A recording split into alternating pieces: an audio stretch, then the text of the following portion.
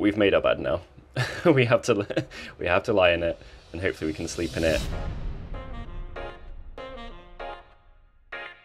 Hello and welcome to another Artis Opus video. My name is Byron and we are still sweating away with our two week army project, which we're squeezing in around everything else, including just horrible 30 degree heat. We have a pretty tasty conversion with a horrible drying period, which is looking kind of okay over to my side, which I'm quite pleased about. Uh, we have some decent amount of progress with our assembly. Maybe we are 90% of the way through, maybe 85%, and there may or may not be a little last minute change in direction. Of course there is. Uh, I mean, why make it easy for ourselves uh, with what is actually going into the army? So we'll cover all of that in what's coming up.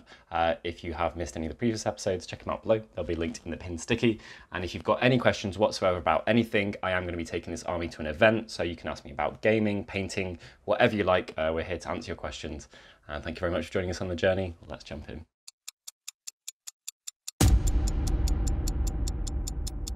Quick decision that I've made for the army. I've ripped some spikes off this guy, and the reason is access. So, this one's got spikes on him, the Vanguard got spikes all over them. Now, it doesn't look too much like this one to be limiting access, that's not in a bad location, I can come from this angle, this angle, and underneath not too badly, but once you've got a head here and stuff, these ones, especially this one, given the head is looking in the same direction as a spike, I'm going to limit my access to it and that is going to slow things down or reduce the quality of my paint job. It feels frustrating to not glue these on at this stage because I'm just going to have to glue them on later but I think I'll get a high quality paint job without them attached and it could make my life quite a deal easier. Hopefully it is worth the time, you know, having to do stuff separately later. It also means that I can base coat the spikes by airbrush or, you know, spray them white or do something else. So it may well be a, a double benefit, but the access thing is definitely going to be a thing. I don't want to be forced using a smaller brush than I would do otherwise, or to, um, you know, just not be able to get the right angle, the right coverage, or something like that.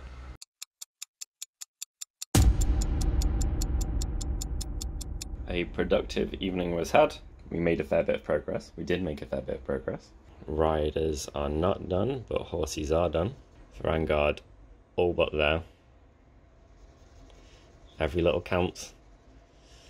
And bliss barbs, we've got one tenth. There we go. Just gotta gotta note down. I think actually as well, um, significant progress was made on the epitome, which I'm going to pronounce correctly for the first time ever in my life. There we go. So we are looking slightly better than we were. Welcome to my slightly chaotic desk. So, I thought I would show more specifically the reason why I leave some things overnight. So, this is a two-part shoulder piece from the in the epitome model. Um, there's no way that I can make that look good in one session. So, I glued this yesterday. And then what this allows me to do is I can either scrape it with a knife without it getting fluffy or anything weird because it's fully dried, or my favorite the sanding paper and we end up with something far closer to what we want. This may even take a couple of goes. You can put some sprue glue in there, which is a mixture of plastic glue and plastic shavings. Um, but yeah, it's just a, a, better way to get a smoother bond. This one might take a couple or a little bit more sanding, but it'll end up way nicer than it would have been if I just, you know, bodged it together in one session. We've got some Vanguard pieces that are being worked out there. I've mixed them up on the way to assembly, so I've opened up my second box to get the instructions out, and we're going to play Who's Who. Uh, we have Hellstriders, one full set and one set of steeds, and the epitome is going to be finished fairly soon, so we actually are making a little bit of progress here. And as well as that, we've got 10 Daemonettes, which are going to be brought up to the level of the archer here for my bliss barbs, looking really nice. Um, so I'm prepping all of the bodies at once, and then I will um, pop heads on and then prep all of the bow arms and bow shoulders of the models because they're the most tricky bit, as I have to chop it off. Um, I shouldn't rush that, it's worth doing that type of thing carefully. So I'll take my time with that one, and uh, then we'll have a large part of the battle line and the troops assembled basically. End of assembly sesh. Let's ignore how messy this looks. This is actually finished. We've had some bits that were drying overnight. Heads have been attached though, so we're good to rock on with that one now, which is fantastic. I could not be more pleased with how these are looking. That's one we already saw. And then I had one with a more kind of shoulder back casual pose going on. Looks wicked. I'm really trying to go with the flow of the models in the positioning of these arms. Um, the right ones don't particularly allow for that as much, but this, you know, these look amazing together. I've always loved the Daemonette models, had a lot of time for them. So super pleased with that. Good progress, uh, got a load of Daemonette bodies uh, for next session when I go through a uh, an, an, arm attaching kind of procedure on everyone. We're going to go to surgery. And uh, yeah, I'm going to get to tick off some more things on the Gantt chart. So progress is progress, wherever it is, however much it is, however small it is, it's still helpful and will help us move forward. Normal dodgy angle, it's 31 degrees in the UK. It is absolutely disgusting. Absolutely grim, horrible. So what can we do now? Um, bliss barbs, I think we can take these to about here, which is awesome. Heads and arms to go, really good. Epitome is finished, amazing. Uh, no further on the keeper or anything else, but you know, all mounts up, so bit by bit we are getting there.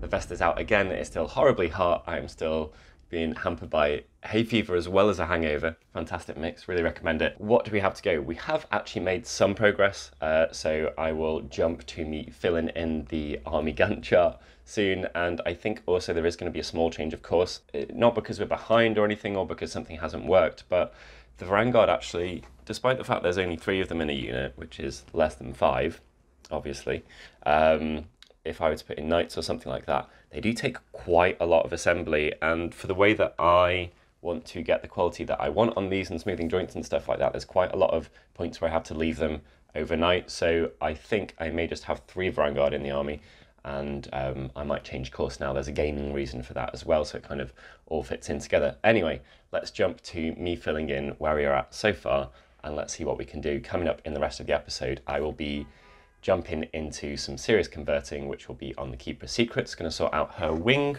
which has still yet to be attached.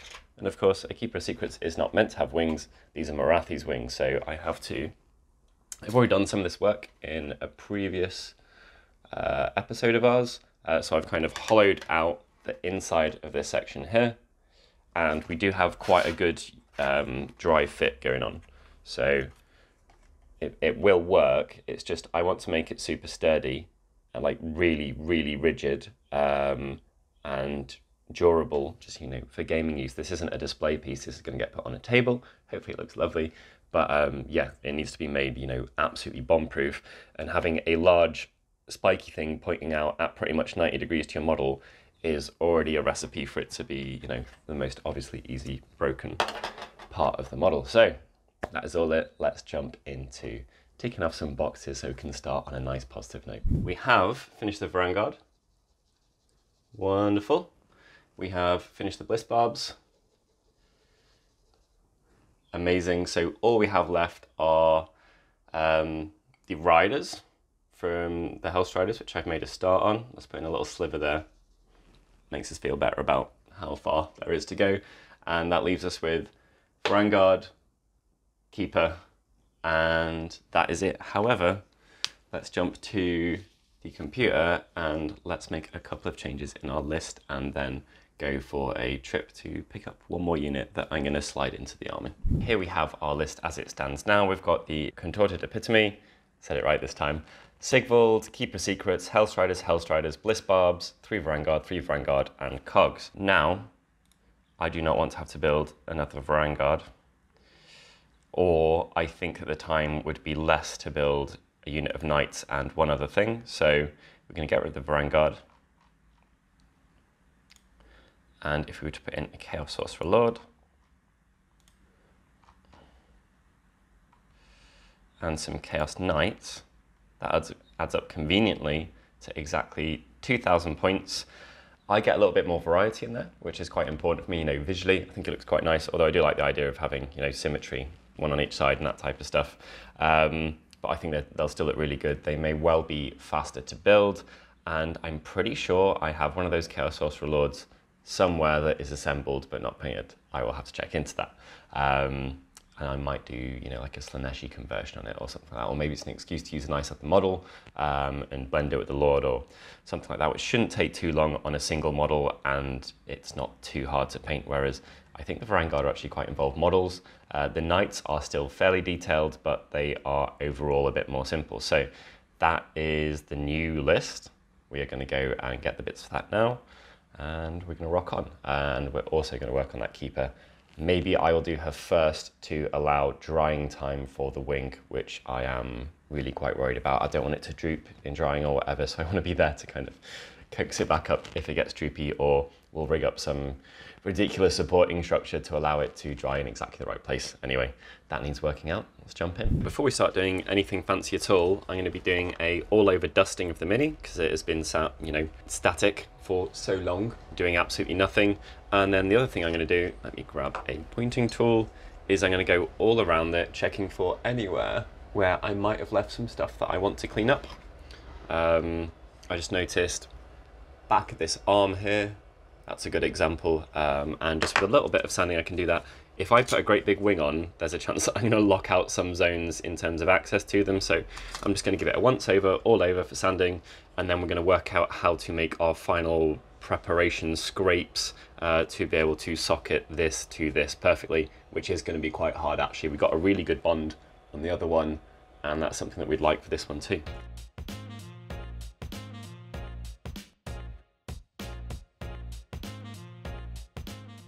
Now, I have one key issue that I need to resolve before I go full steam ahead with this.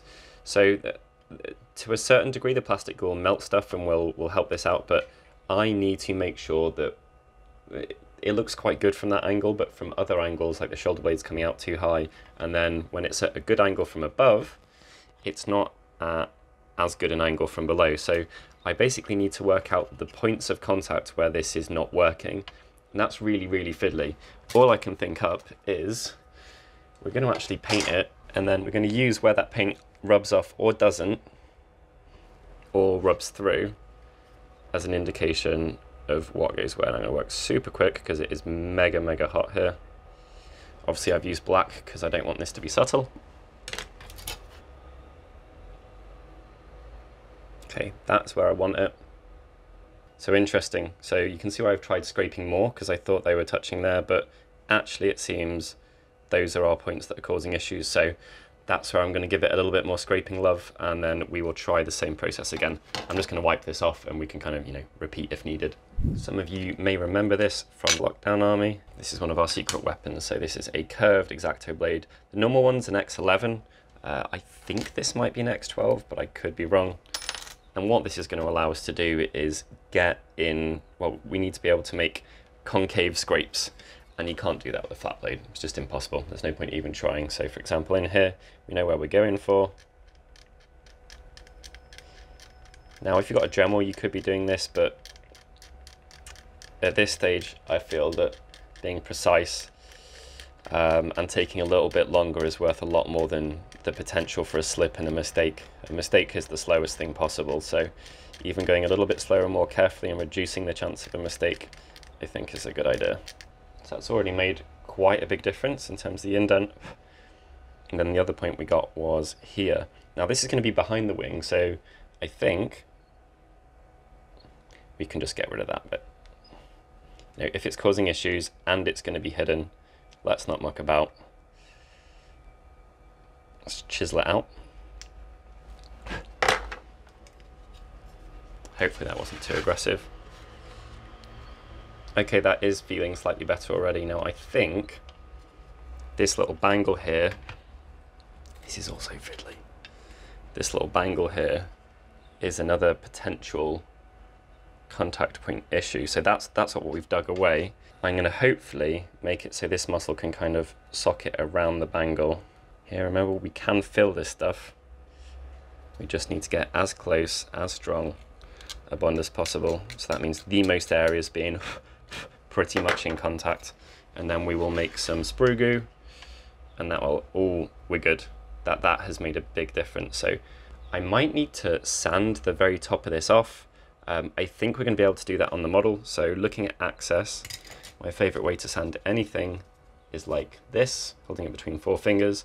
And with a wing there, I think we should be able to still get an alright angle to do that, which will help us kind of grind this down organically. That is already a much stronger point though. I'm really pleased with that. That's that's taken a lot of work to achieve, but that should be really steady. I think it's getting to the point now where I should just probably stop tinkering because I actually run the risk of making it worse uh, by accident. So I will do a tiny bit more on one more point and then we're just going to rock on and we're going to cross fingers very, very hard. All right. So I think, actually, to be honest, I just made things worse. That is what it is. And if I needed any further indication that I should just rock on and stop mucking about, that's good enough for me. I think what we're going to do is we're going to create some sprue goo, and then we're just going to uh, try put it in the right place. We're going to press it in. We're going to be very patient, hold it there, and then, you know, whatever we're left with, we will deal with. So I'm just going to take a bit of sprue here.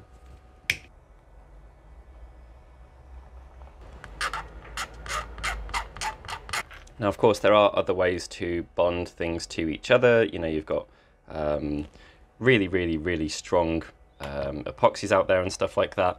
The reason that we're doing this is I want a plastic to plastic bond and I want it to, um, to be durable and not brittle. And the only real way to do that to this degree, you know, like to make a piece that I could pick it up by is by making sprue glue. So we've got a full plastic bond.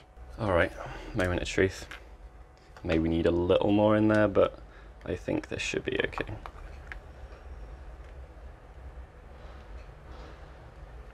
So what I'm to do is I'm to apply it to this piece, not the other piece. Make sure it goes right up to the edges.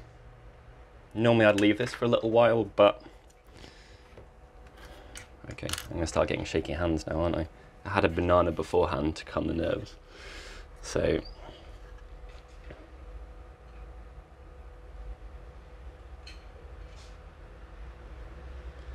There we go. So basically at this point, it is there and we're just going to wait. I'm not bracing it at the end of the ring because that's going to wobble it. I'm just bracing it with my thumb and I'm pressing it as strongly as I can into the angle where I want it to dry.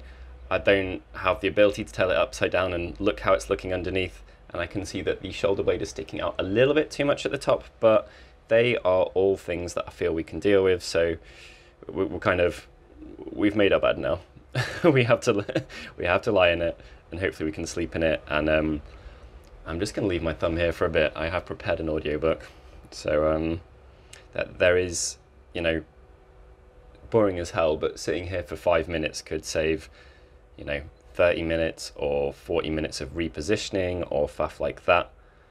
Just need to be vigilant.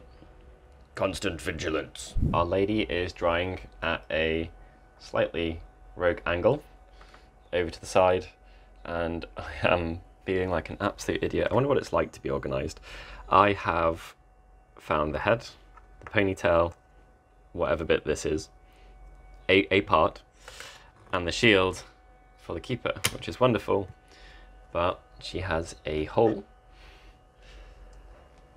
here, which is meant to be filled by a tail, which I haven't found yet. So I'm currently feeling like an absolute idiot trying to work out where the tail is. It's quite a small, like wormy piece. God knows, so I'm going to try and hunt that down. right, we found it. I am as predictable as I am stupid. Of course, it is in the box with some Nighthaunt models and the bits from a Megaboss. So that makes loads of sense, doesn't it? But we have found it at least. So quick one, while we're here lamenting my stupidity, if anyone can tell me the little subtle conversion or thing that I have changed about that Demoness uh, to, well, hopefully make them look quite cool visually in a subtle manner, do let me know. Uh, if anyone's built the kit, maybe they had the same key annoyance that I had, in a load of ways with it. But uh, yeah, I have um, I have made a couple of nips and tucks and repositions. If anyone can guess what it is, we will send them a paint set. First one to guess correctly wins. Okay, so here we are at Element. Let's go and get some goodies.